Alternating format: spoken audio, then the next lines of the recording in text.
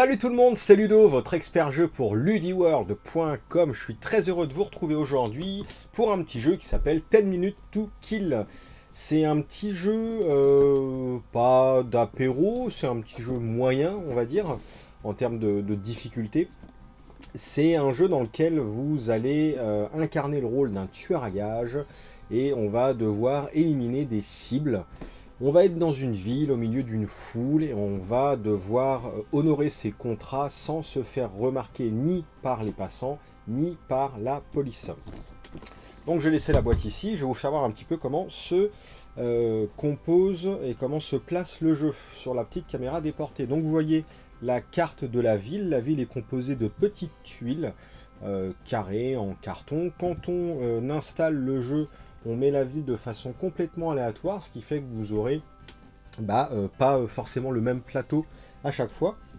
Vous avez euh, des tuiles traditionnelles que vous voyez ici, et vous avez des tuiles, je vais vous faire voir ça comme ça, avec un petit symbole ici, qui est un symbole de sniper, c'est-à-dire qu'il y a un gratte-ciel et vous pouvez tirer avec un sniper. Alors en gros, en début de partie, on va installer un personnage sur chaque euh, tuile du plateau. Donc je vais vous faire voir avec la petite caméra ici, vous allez avoir des petits personnages sur chaque tuile. Hop, hop, hop, hop, hop. Alors moi ce que j'aime bien déjà, c'est l'apparence des personnages. Si vous vous souvenez un petit peu de la série euh, Renard dans les années 80, bah, ça me fait penser un petit peu à ça. C'est très très très joli, très coloré. Trouve ça vraiment sympathique.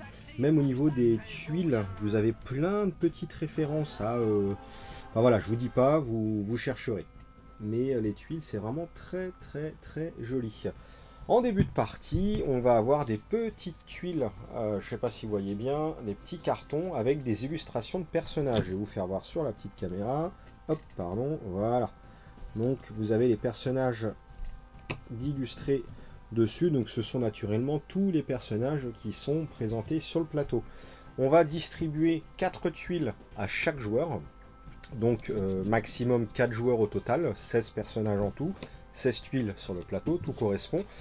Les 4 tuiles des, euh, distribuées à un, joueur, ça va être euh, donc une tuile va être le tueur à gage et les trois autres tuiles, les cibles, les contrats à honorer, les cibles à abattre.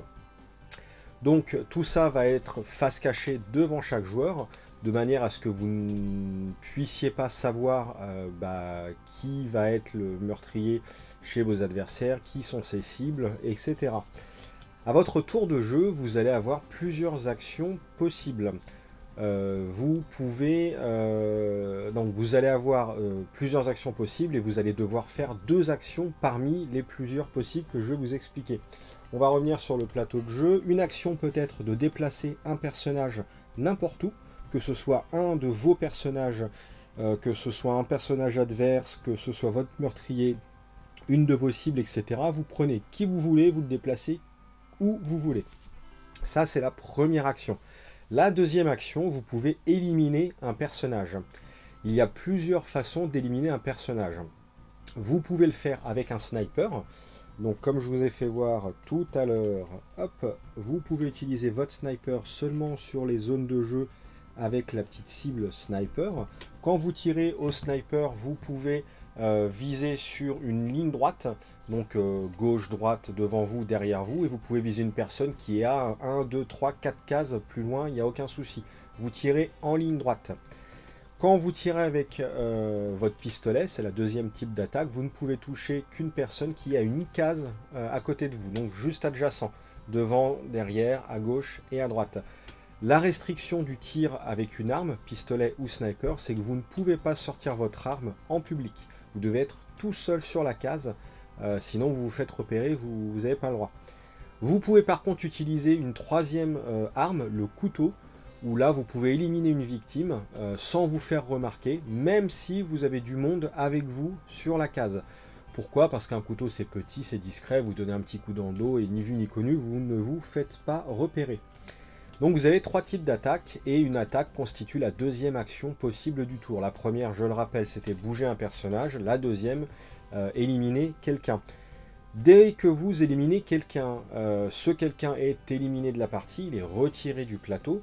Si c'est un de vos contrats, bah, vous le mettez de côté, vous marquerez des points en fin de partie, je vous expliquerai comment ça se passe.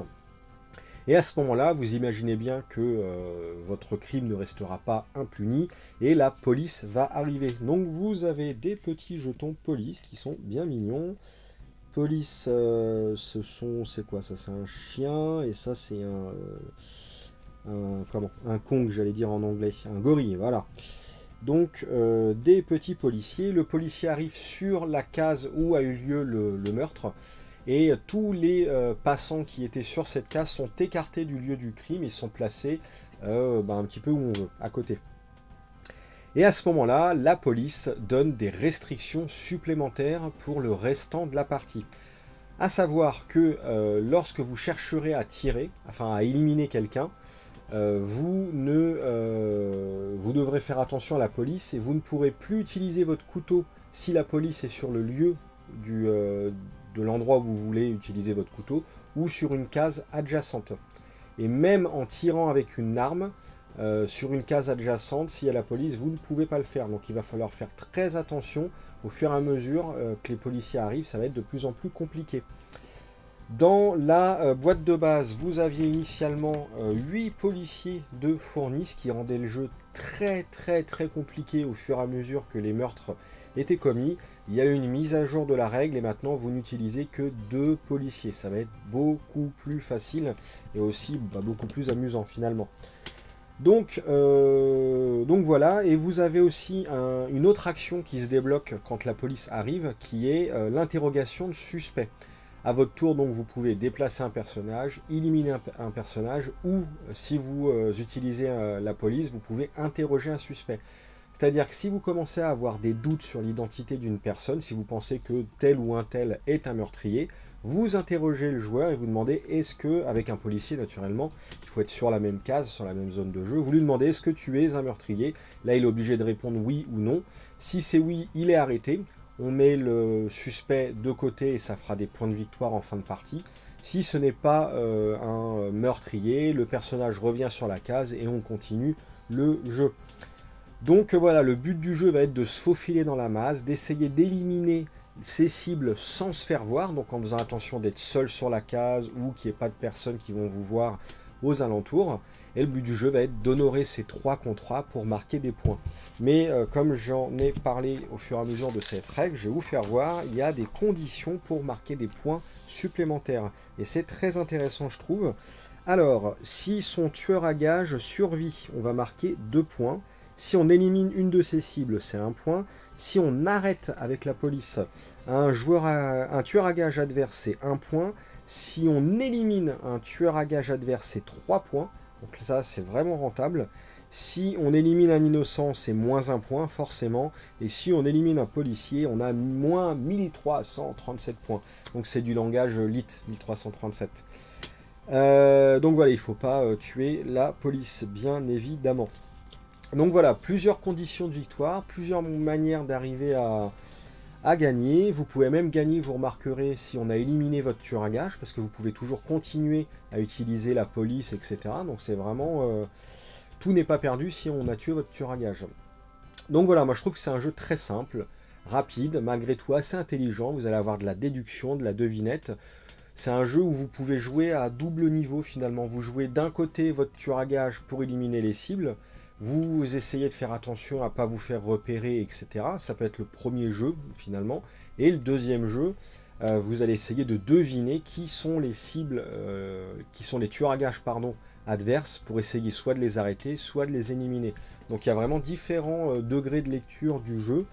Et bah voilà, enfin dans une toute petite boîte comme ça, à un prix bah, aussi modeste, hein, ça vaut, je le vends à 16,95€ au lieu de 20€.